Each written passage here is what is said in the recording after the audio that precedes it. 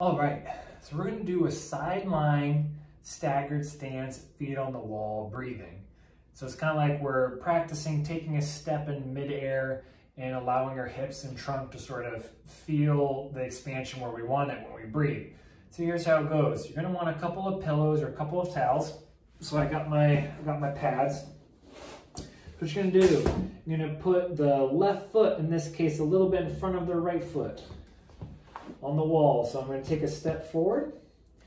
On this leg down here, I'm gonna sort of get heavy on my heel, so it's a little bit of a drag backwards, and I'm getting a little bit of that ball of foot.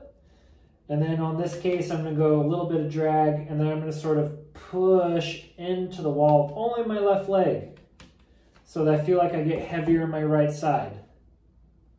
Okay, so I'm just keeping it, so I should feel a little bit of hamstrings on the bottom leg. So I'm gonna be here, and what I'm gonna do is I'm just gonna take this hand and I'm just gonna reach down towards the inside of my knee. If you feel a pull in the neck, bend the elbow and just sort of reach for the inside of the top leg instead, okay? And for here, you're just gonna take uh, five breaths.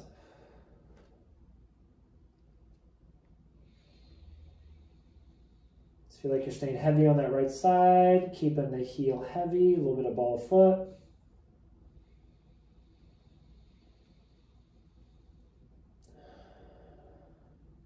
Right? Let me know if you have any questions.